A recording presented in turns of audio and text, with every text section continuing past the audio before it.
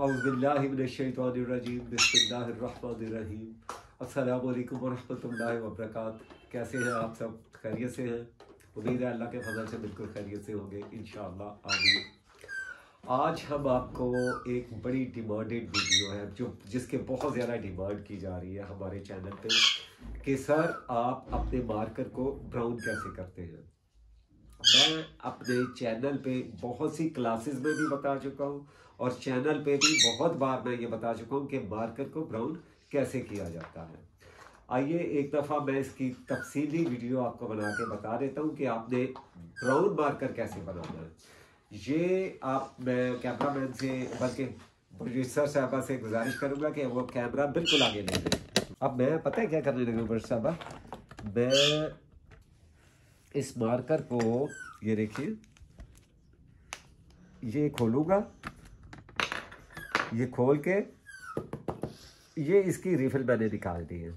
अब इसकी रीफिल में मैं, ये देखिए, ये मेरे पास ब्लैक रीफिल है dollar permanent marker marker refill ये ब्लैक ये मैं इसमें डाल दूँगा रेड मार्कर में ब्लैक रीफिल डालूँगा। और काफ़ी डाल दूँगा ताकि ये सही से ब्राउन हो जाए। आइए, ये देखिए, मैं कितने ड्रॉपर्स इसके ड्रॉप्स इसके डाल दूँ। अच्छा जी, अब मैंने डाल दिया है। अब आप एक दफ़ा फिर देखें कि मेरे पास दोबारा फिर से रेड रेड रिफिल है डॉलर परमानेंट रिफिल अच्छा जी, अब मैं ये रेड इसमें डाल दूँगा। ये देखिए।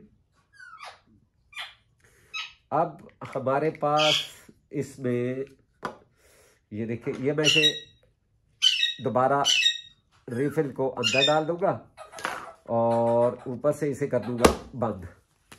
बंद करने के बाद मैं कुछ देर के लिए इसे टिश्यू में पकड़ लूँगा। ये देखिए, ये आप देख रहे हैं कि ये कुछ ही देर में, ये देखिए, ये मार्कर ब्राउन होना शुरू हो गया, बल्कि ब्राउन हो गया। ये देखिए, मैं आपको ये देखिए ये बैरूज शेर में चला गया।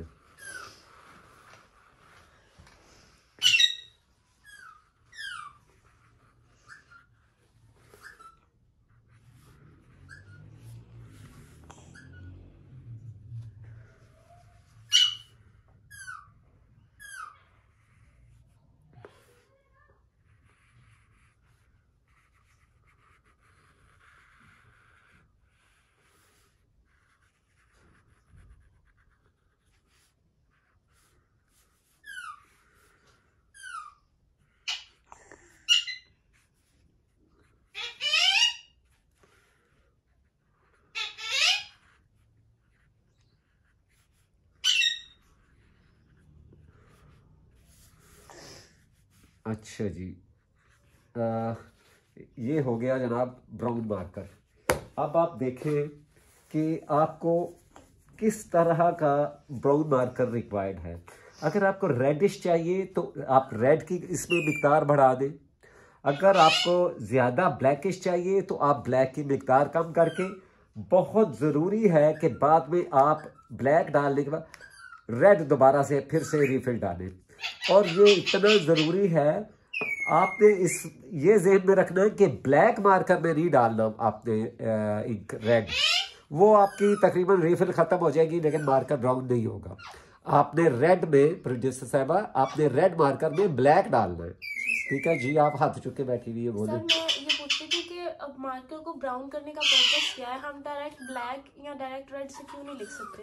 नहीं, आप कई जगह ऐसी होती है जहाँ आप पे, आपके पास वो डिमांड होती है या आप पैनल में राइटिंग कर रहे होते हैं। आप ब्राउनिश इफ़ेक्ट देना चाहते हैं ब्राउन राइटिंग करना चाहते हैं।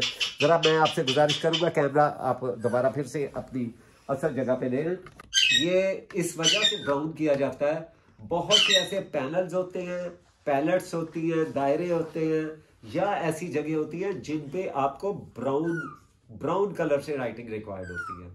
तो आप इसी मार्कर को अपनी मर्ज़ी के मुताबिक ब्राउन कर सकते हैं। रेड से मैरून डार्क ब्राउन और फिर ब्लैक की तरफ़ चला जाता है। इसकी सिर्फ़ और सिर्फ़ ये दो रिफिल इसकी स्टोरी है। ये आपने याद रखना है कोई और सवाल है आपका? सर ये रिफिल का डिफरेंट यूज़ भी बता दीजिए। इसका एक्चुअल पर्पस क्या होता है? इसका इसका पर्पस सिर्फ़ यही है कि आपने मार्कर आपका ड्राई हो गया तो आपने इसे दोबारा फिर चलाना है। लेकिन मैं जुगाड़ कर लेना। मैंने ये ये ना ये एक मेरी अपनी क्रिएशन है। कि मार्कर को ब्राउन कैसे करना है। अब आपको ब्राउन मार्कर मिलता नहीं है मार्केट से। और जनाब ये ब्लैक और रेड होता है। मैंने एक दिन ऐसे ही तजुर्बा किया और इन दोनों इंक को कमाल हो गया फिर ब्राउन हो गया। और चिट्टे वाल हैं तो किसे पासे ये करते करते चिट्टे हो गए। ये काम करते हैं ना। वो जुगाड़ इधर उधर आप देखें सेंस यूज़ तो कर रही है ना। आपने अपनी अकल इस्तेमाल कर रही है। जब आपके पास कोई चीज़ सोर्स अवेलेबल नहीं है, आप इक्विलेंट करें ना।